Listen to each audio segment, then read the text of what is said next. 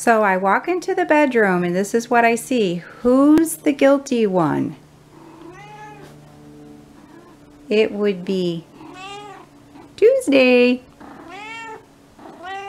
She's the guilty one.